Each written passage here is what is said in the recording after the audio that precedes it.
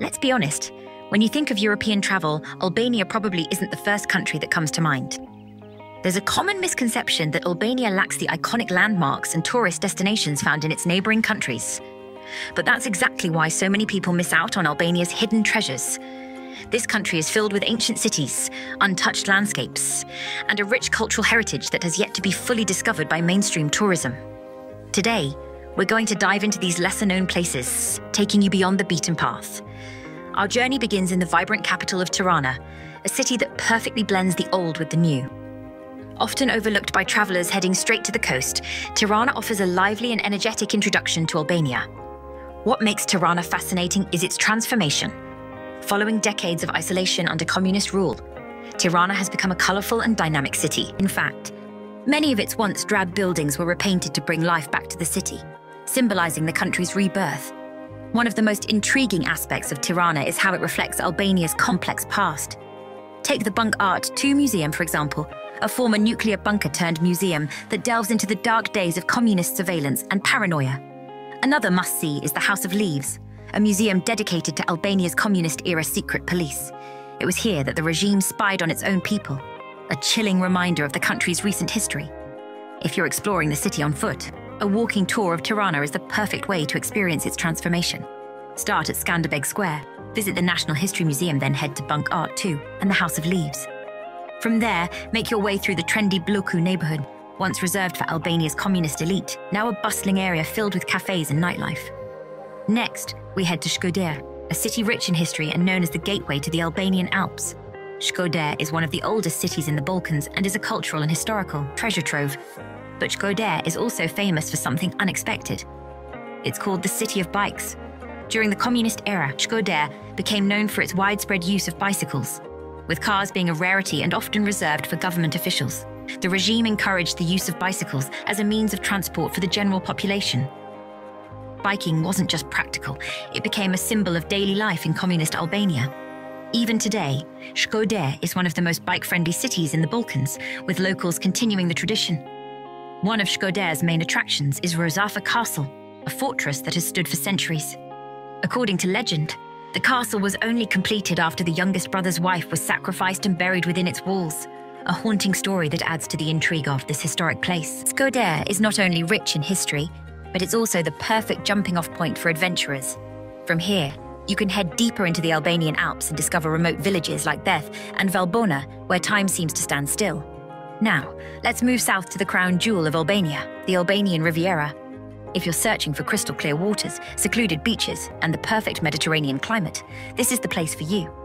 Unlike the crowded tourist hotspots in neighbouring countries, the Albanian Riviera remains peacefully untouched. Some of the best kept secrets here include the secluded Gjipe Beach, where you can reach only by a hike or boat, and the ancient village of Himarai, where history and beach life meet.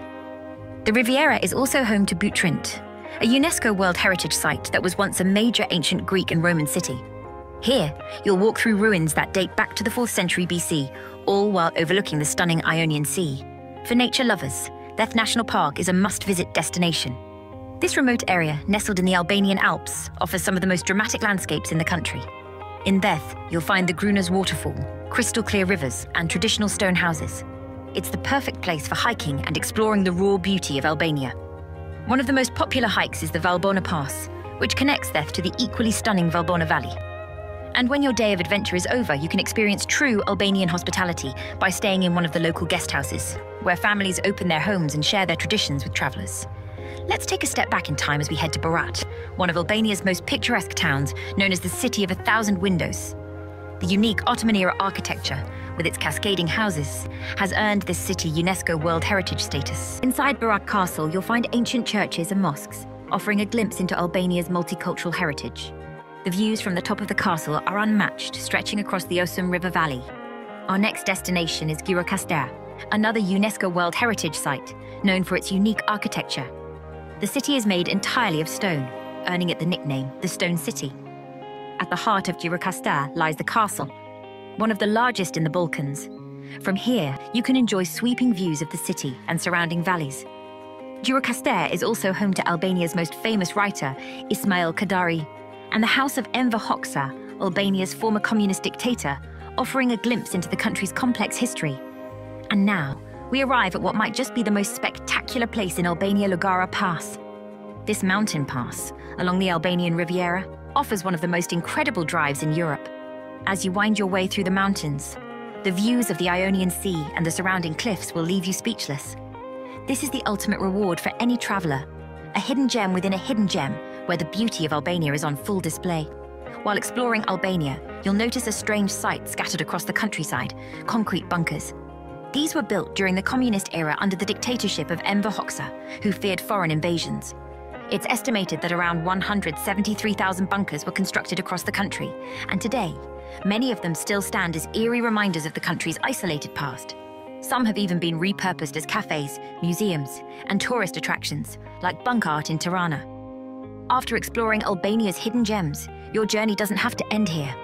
Just across the border, Montenegro and North Macedonia offer even more incredible destinations to add to your itinerary. Whether you're heading to the rugged beauty of Montenegro or the cultural richness of North Macedonia, these countries offer a seamless continuation of your adventure in the Balkans.